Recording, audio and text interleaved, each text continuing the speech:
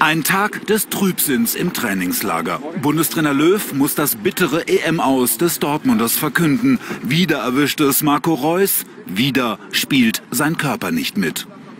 Er hat schon auch massive gesundheitliche Probleme und er kann im Moment nur gerade auslaufen. Es ist eine Schambeinentzündung, die bis in die Adduktoren ausstrahlt. Löw blieb nach Beratung mit Dr. Müller-Wohlfahrt keine andere Wahl. Die Mediziner sind natürlich auch da sehr, sehr skeptisch, dass er die nächsten Wochen auch bei diesen zehrenden Spielen und bei diesem zehrenden Turnier dann auch voll belastbar ist. Krankenakte Reus. Vor zwei Jahren, kurz vor der WM, stoppte ihn eine Bänderverletzung. Heute an seinem 27. Geburtstag wird er erneut zur tragischen Figur.